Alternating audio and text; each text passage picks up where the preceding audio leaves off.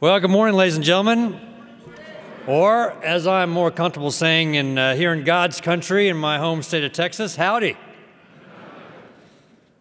So, thank you, uh, great for that great introduction, uh, General Miller, and uh, especially to General McNabb. See, ah, there he is, sir.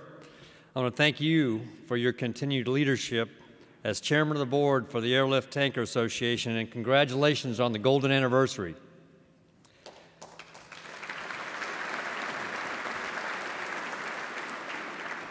You know, for 50 years, this organization has lived up to its motto to support, preserve, and strengthen our airmen and their heritage.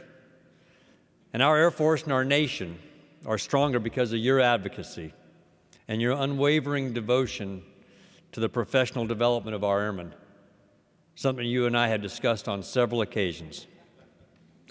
And today, this command is set for takeoff under the steady hand of General Maryanne Miller. Of all the personnel decisions Secretary Wilson and I have made, this was one of the easiest. General Miller is the commander today for only one reason. She's the best athlete in our Air Force and a leader of impeccable character who inspires me every day, just as she's going to inspire you.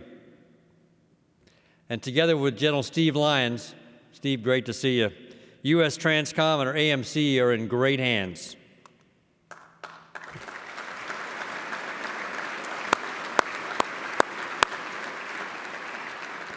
Now, I mentioned to you that I am from the great state of Texas. Is there any other Texans that may be here today? Let me show hands. Ooh, I see one right there. What's, what city? San Antonio, same. All right, so I'm also second generation Air Force. So my dad was Air Force, flew in Vietnam. Uh, my older brother is Air Force, grad, you know, retired as a two-star. My younger brother flew in the Air Force. My daughter's in the Air Force, a nephew in the Air Force. This is family business. So is there any second generation Air Force or military in the crowd? Ooh, right, let's see, yep, right over here. Second generation, third generation? Second generation, okay. So you know how we get to the end of one of these speeches, right? And then uh, we go to that Q&A piece and it's always everybody stares their shoes. I've, what I've found is if we can just get two questions going, it just picks up the momentum and we have this great conversation. So what we're going to do is this. San Antonio, you got question number one.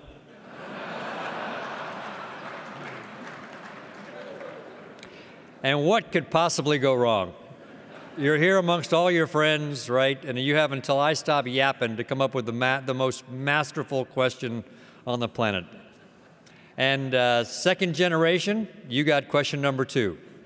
And then we'll roll from there. And there's a coin in it for you, so thanks for playing.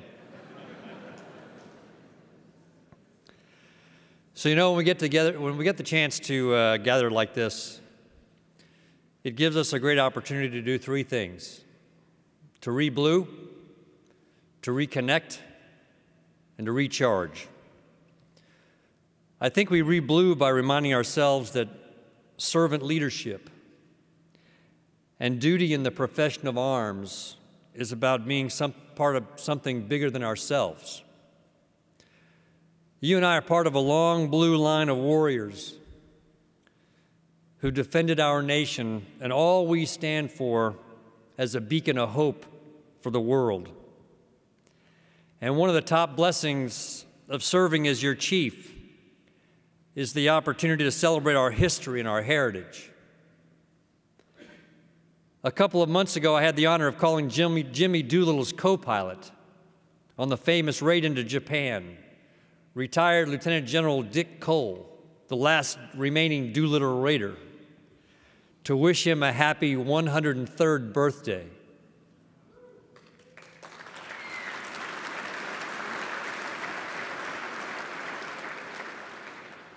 And then a couple weeks ago, I was here in Dallas to celebrate with the last remaining flying tiger, crew chief Frank Losonsky, who was celebrating his 98th birthday.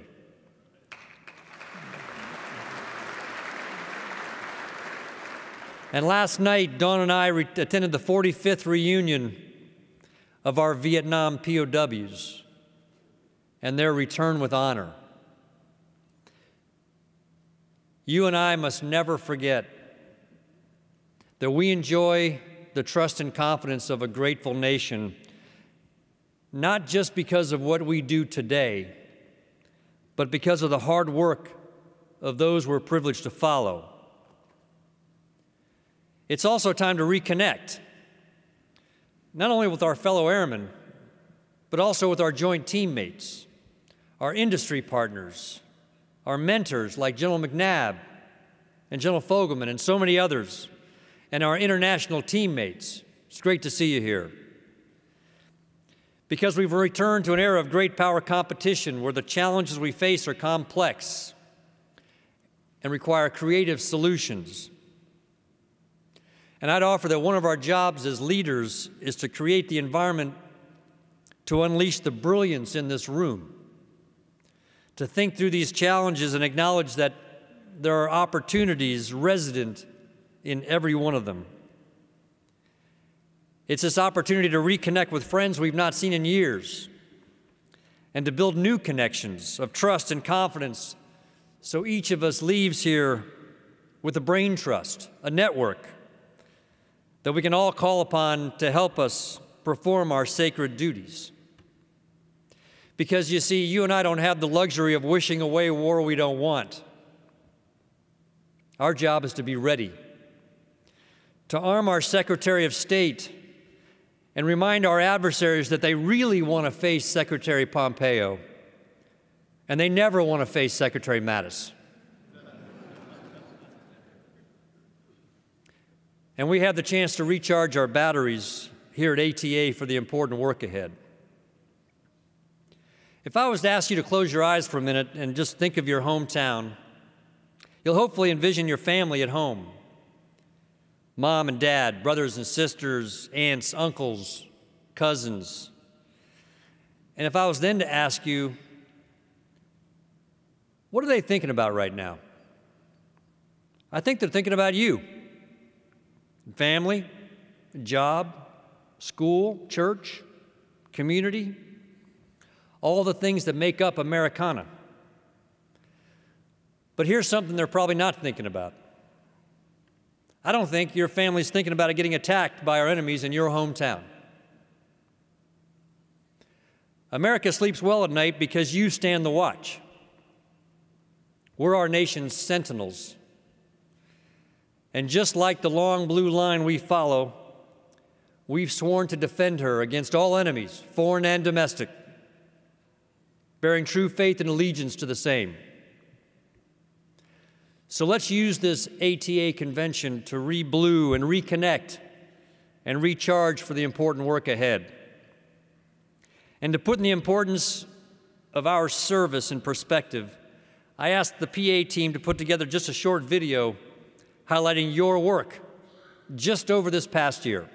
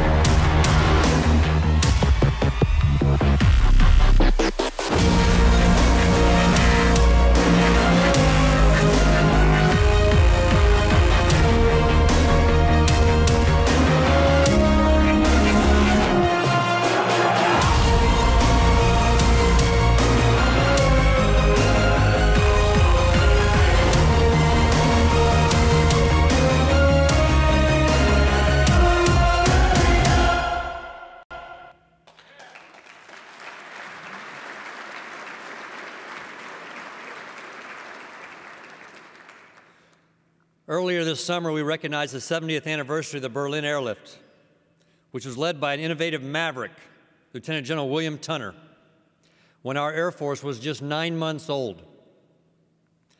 And we can't forget that this is the 75th anniversary of our medevac lifesavers, whose roots started at Bowman Field in Louisville, Kentucky.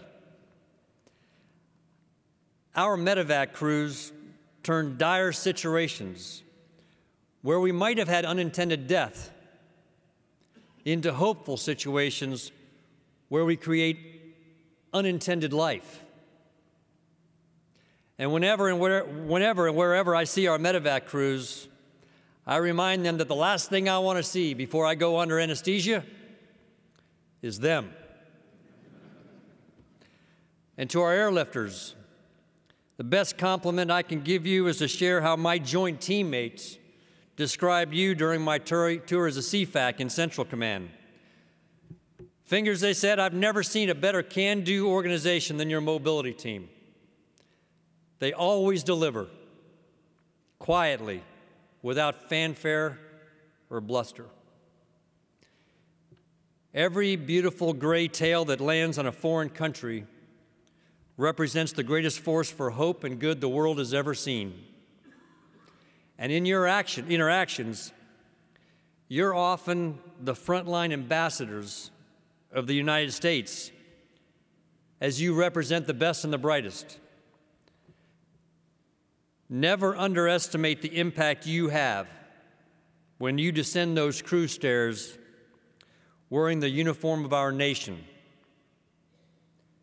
You're the face of America. 90 years ago, when Major Tooey Spaatz flew the question mark flight that began air refueling as a core mission of our United States Air Force, for me, this became personal. Because I've been drug out of some really bad places around the world by courageous tanker crews who, without a moment's hesitation, flew inside enemy surface air missile rings to give me and my fellow thirsty fighter pilots a drag home. And I'll always be grateful for that. And as the CFAC supporting surge operations in Afghanistan and Iraq, I witnessed too many times how we honored our fallen through dignified transfers, each executed with the precision and professionalism we would all want and expect for our fellow soldiers, sailors, airmen, and Marines. You underwrite the President's ability to strike anything on the globe at the time and place of his choosing as we put in the end of that video, we're a global power because of global reach. But, fellow airmen, now is not the time to rest on our laurels. Like any great chef, we're only as good as our last meal. And one of the most powerful statements in our national defense strategy is the acknowledgement that America has no preordained right to victory on the battlefield.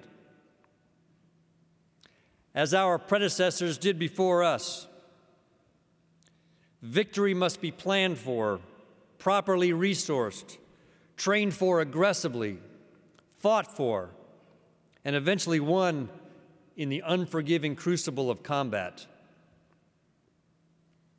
You know, there are very few certainties I can offer you as your chief. Most of Secretary Wilson's chief rights in my world is somewhat ambiguous, with often little clarity as we navigate the turbulent waters of national security. But this I can say without hesitation. You and I have from this moment until the next war starts to prepare for ourselves for the fight that's coming. And we should treat every week as the last week of peace and a blessing allowing us the opportunity to get ready. Of all we do as leaders, there's one obligation we have that's nothing short of moral. We have an obligation to ensure that every airman we send into harm's way is properly organized, trained, equipped, and well led to be able to get the job done and return home to their families, who we have taken care of while they're gone. Everything else we do the best we can. This one, you and I, we got to get right. And it's commander business. So let's shift now and talk a little bit about our future and where we're headed together. Two years ago, I laid out three focus areas designed to improve our joint warfighting excellence in this era of great power competition. First was a focus on revitalizing our foundational fighting formation, our squadrons.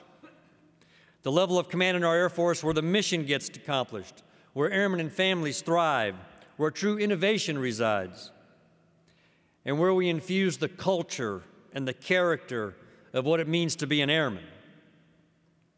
So we're continuing to pursue a number of initiatives designed to improve the lethality and the readiness of our squadrons by removing readiness impediments and irritants as we restore decision authority to commanders based on our trust and our confidence in their preparation and your gut instincts to be inspirational leaders of character.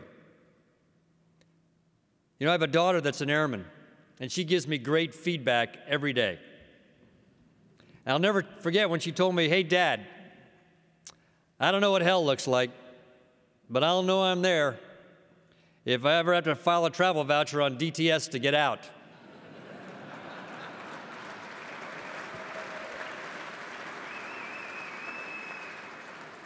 And then take 60 hours of computer based training laid out in just 100 unreadable Air Force instructions. Not bad feedback to get as the chief.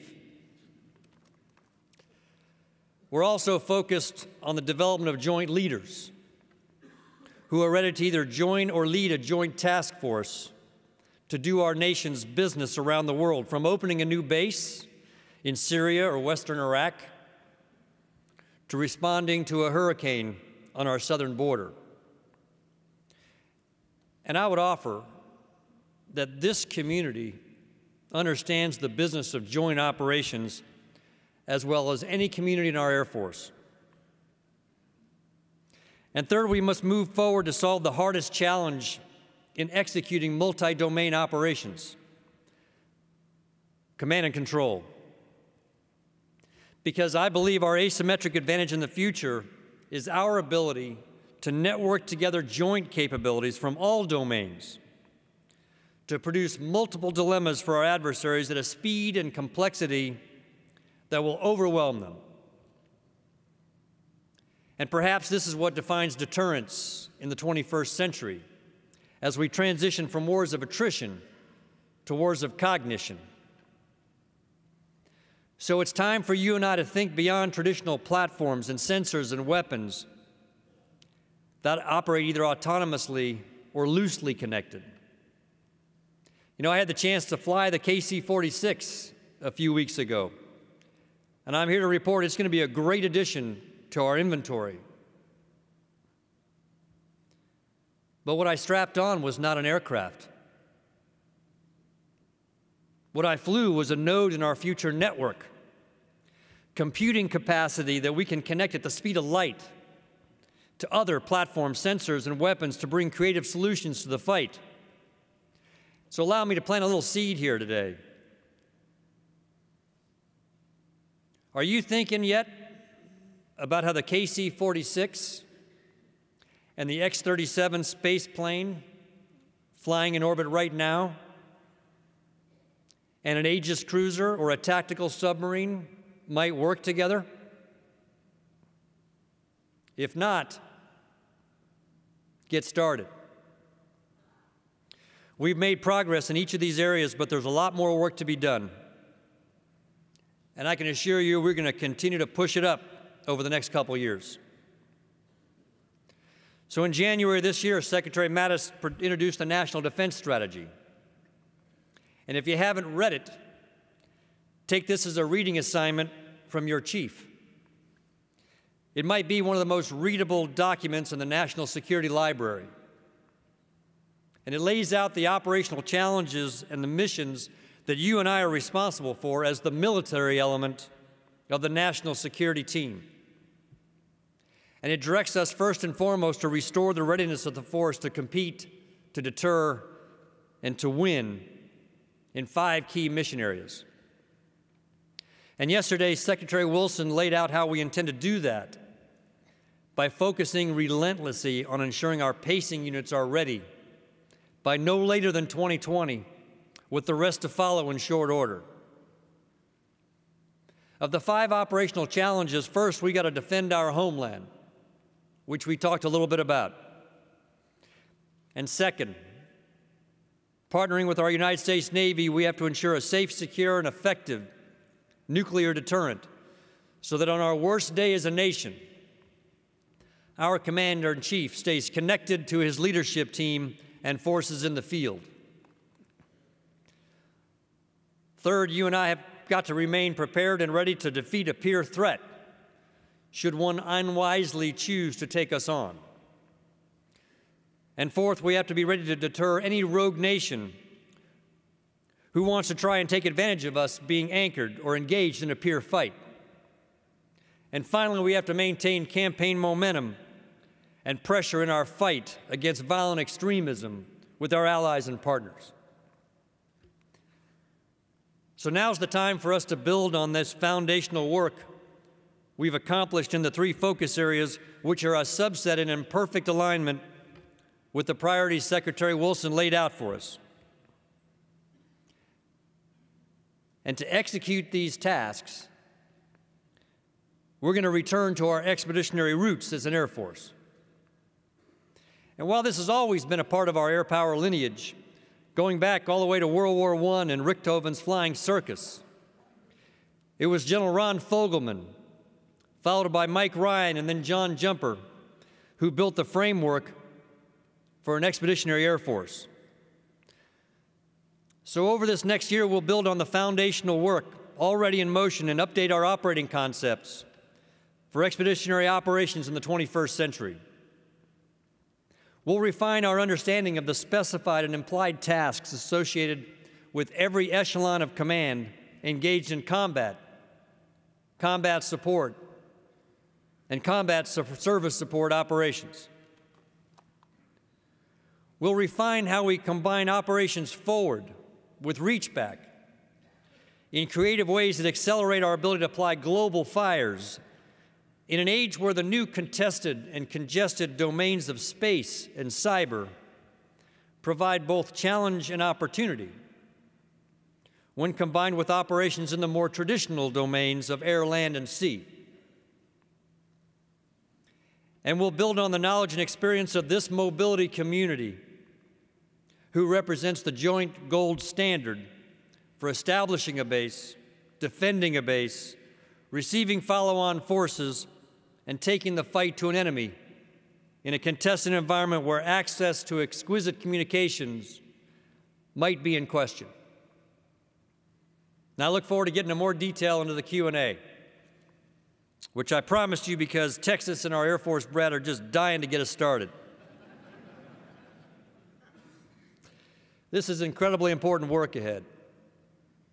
And we must all grab an oar and row in the same direction If you've ever been to a boat race or a regatta, which is an Italian word for mastery, it's something to watch.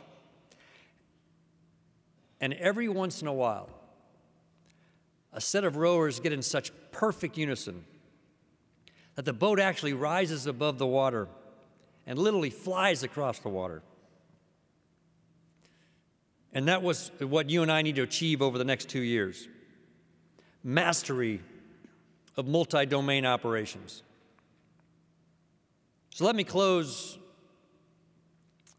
for questions by reminding us perhaps why we serve as we reblue and reconnect and recharge.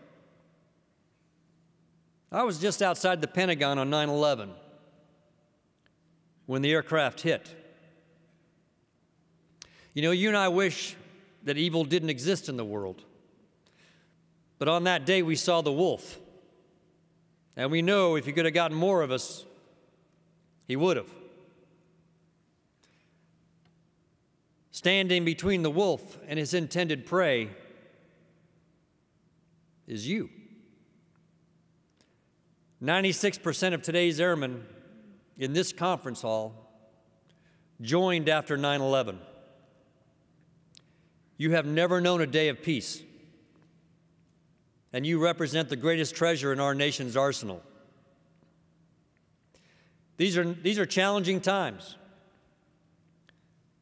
but not the most challenging we have faced as a nation or as an Air Force. Spaatz, Mitchell, Tunner, Fogelman, McNabb, Miller. We have the right leadership team in place and the creative brilliance and energy of the finest fighting force ever assembled in this room. If only our adversaries could see what I see as I look out from this podium. To them, I have one message it sucks to be you. Fight's on. Thank you very much.